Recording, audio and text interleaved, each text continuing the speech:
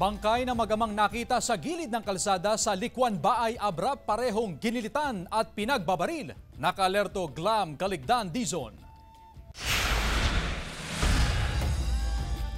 Parehong ginilitan sa leeg at mayroong tama ng bala ng baril sa iba't ibang bahagi ng katawan.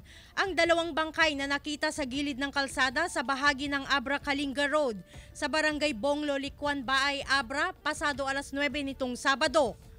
Ayon sa pulisya, nakatape pa ang bibig ng isa sa mga biktima na mas nakatatanda. Tama-tama ti paltog, di magbagi, dakan nagilitan pa iti tenged da, di kwa, na takal nga sugat sir.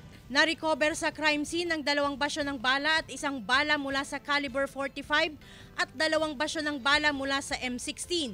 Matapos ang ilang oras, positibong nakilalang mag-ama ang mga biktima at residente sa bayan ng Bangged. Ang ama ay tinukoy na si Alex Boreta habang ang anak ay si Richard na 17 anyos lamang.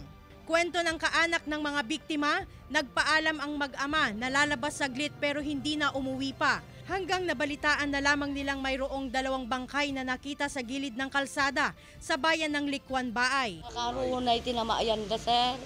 Mas lalako nga. Ura ko nakita pa, sir, ng naki, nakakuha lang din na mayanda. Iniimbestigahan pa ang pangunahing motibo sa pamamaril. Hustisya naman ang hiling ng pamilya ng mga biktima.